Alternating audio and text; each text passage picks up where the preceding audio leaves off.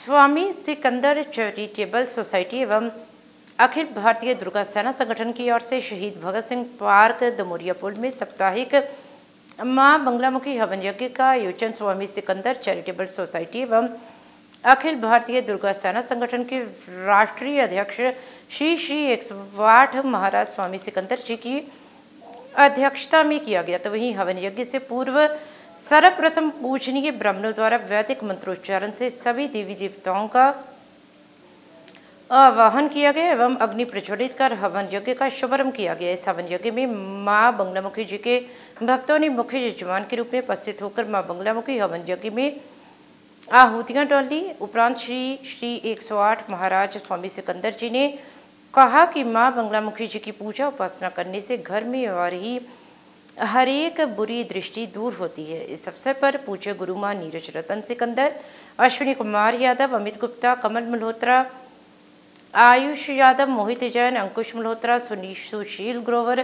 दीपक गोस्वामी, बलविंदर यादव, राघव मांगव, महिला संकीर्तन मंडी की लक्ष्मी शर्मा, पूजा शर्मा, राधा अरोड़ा, मीनू जैन सहित असंख्य माँ बंगला मुखी जी के भक्तों ने हवन यज्ञ में हुतियाँ डाली एवं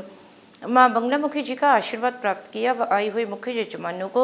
माँ की चुनरी देकर सम्मानित भी किया गया। जालंधर से हलचल के लिए कैमरामैन सुदेश भगत की रिपोर्ट। बगला मुखी देवी जी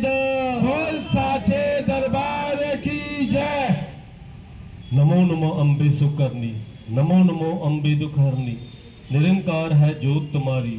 तीनों लोग फैली उजारी। शशि लाट मखा विशाला नेत्र लाल भिक्ति विकराला रोम मात को अधिक सहावे, दर्श कर जन अति सुख पावे, तुम संसार शक्ति लकीना पालन हेतु अंदन दीना, अन्नपूर्णा हुई जगपाला तुम ही आदि सुंदरी बाला, प्रलय काल सबनाशन हारी, तुम गौरी शिव शंकर प्यारी, शिव योगी तुमरे गुण गावे, ब्रह्म विष्णु तुम निध्यावे रूप सरस्वती का तुम धारा दे सदबुद्धि शिवमणि उभारा, धरा रूप नरसिंह को अम्बा प्रगट बई फाड़ कर खम्बा रक्षा करी प्रहलाद बचायो, हिरना कश को सर्ग पठायो, लक्ष्मी रूप धरो जगमाही श्री नारायण अंग समाही, शीर सिंधु में कर्त विलासा ध्य सिंधु दीजे मन नासा हिंगलाज में तुम्ही भवानी, महिमा अमित जात बखानी, मातंगी धूमावती माता, भुवनेश्वरी बगला सुखदाता श्री भैरव तारा जगतरानी छिन्न बाल बल दुख निवारणी